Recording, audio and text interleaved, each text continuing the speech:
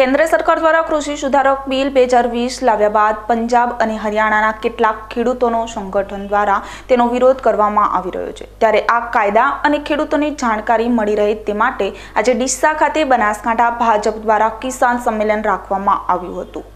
આ સંમેલનમાં ગુજરાતના પૂર્વ ગૃહમંત્રી ગોરધનભાઈ ઝડફિયાએ ઉપસ્થિત લોકોને આ કાયદાથી ખેડૂતોને થનાર સંભવિત લાભ પર પ્રકાશ પાડ્યો હતો. દેશમાં કોરોના વાયરસ બાદ સૌથી વધુ કોઈ મુદ્દો અત્યારે ચર્ચામાં હોય તો તે છે ખેડૂત આંદોલન. તાજેતરમાં કેન્દ્ર સરકાર દ્વારા કૃષિ સુધારક બિલ બે હજાર વીસ લોકસભા અને રાજ્યસભામાં પસાર કરવામાં આવ્યું.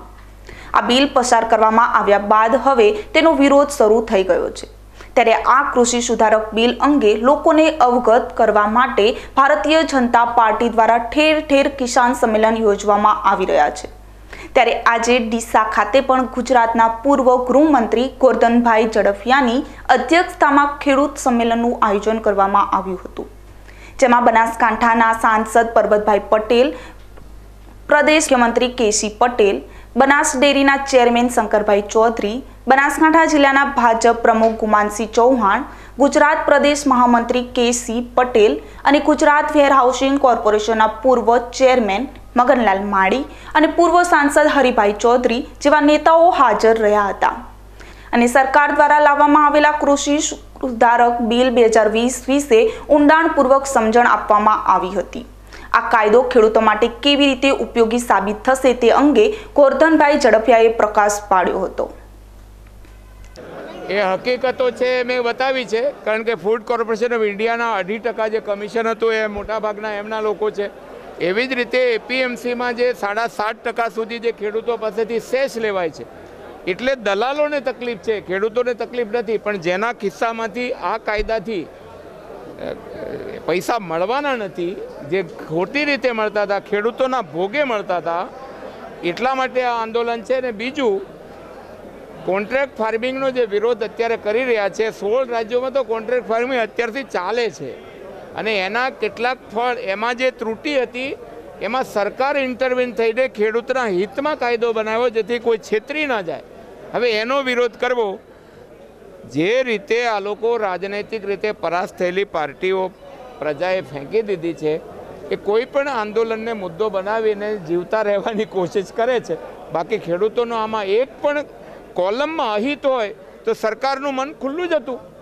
કે- તમને છ છ વાર મિટિંગ બોલાવી તમને બતાવો કે કયા કાયદામાં ક્યાં પ્રોબ્લેમ છે. એમએસપી તો એમએસપીની તો સરકારે કીધું યસ એમએસપી ચાલુ રહેશે. તો પ્રશ્ન ક્યાં છે? આખો કાયદો પાછો લેવાની જે વાત કરે છે એ દેશ હિતની વાત નથી. સાહેબ લાગે છે જે પ્રકારે રાજ્યભરમાં આજે ભાજપના નેતાઓ ખેડૂતોને મનાવવા બેઠા છે? ખેડૂતોને ગુજરાતમાં મનાવવા પડે એવું જ નથી. જાગ્રત જ છે. એટલે તો અહીંયા આંદોલન જ થતું કોંગ્રેસવાળાથી. અને એટલા માટે મારું એમ કહેવું છે કે આ જે ભ્રમિત કરવાનો પ્રયાસ થયો છે, એને બદલે ખેડૂતો સાચી પરિસ્થિતિ જાણે અને અમે ખેડૂતો માટે કામ કરીએ છીએ. અમારી આપણી સરકાર નરેન્દ્રભાઈ જો નેવું હજાર કરોડ દર વર્ષે ખેડૂતના ખાતામાં નાખી દેતા હોય, વગર વાવે ને વગર લણે, એ કોઈ દિવસ ખેડૂત વિરોધી વિચાર પણ કરી શકે? આટલું તો સમજો. એક તરફ કૃષિ સુધારક બિલ બે હજાર વીસને લઈ આંદોલન ચાલી રહ્યું છે, ત્યારે બનાસકાંઠા જિલ્લાના પ્રગતિશીલ ખેડૂત અને પદ્મશ્રી એવોર્ડ વિજેતા ઘેનાજી પટેલ નામના દિવ્યાંગ ખેડૂતે આ કાયદાનું સમર્થન કર્યું છે અને આ આંદોલન રાજકીય આંદોલન હોવાનો પણ ઘટસ્ફોટ કર્યો છે. ભારતમાં અત્યારે જે ખેડૂતોનું આંદોલન ચાલી રહ્યું છે અને એ બાબતે આપણી સાથે જોડાયા છે અત્યારે પદ્મશ્રી એવોર્ડ વિજેતા ગેનાજી ગેનાજી આપનું શું કહેવું છે આ ખેડૂત જે આંદોલન કરી રહ્યા છે? એ બાબતે આપનું શું પહેલાં તો હું માનનીય નરેન્દ્રભાઈ મોદી સાહેબનો આપણા ભારતના વડાપ્રધાન શ્રીનો ખૂબ ખૂબ આભાર માનું છું કે જેમણે આ સારો એવો એક કૃષિ સંશોધન કરીને સારો કાયદો લાવ્યા છે. અને આ કાયદાથી હું અમારી જ વાત કરીએ કે અમારા બનાસકાંઠા જિલ્લાના દાડમનો હબ ગણાય છે. ત્યાં એવી કોઈ એપીએમસી કે એવું કંઈ કંઈ છે જ નહીં. જેની જગ્યાએ અહીંયા અમે કોન્ટ્રાક્ટ ફાર્મિંગથી અમારા ખેડૂતોના દાડમ ઘેર બેઠા વેચાઈ જાય છે અને સારી એવી રકમ મળી રહે છે.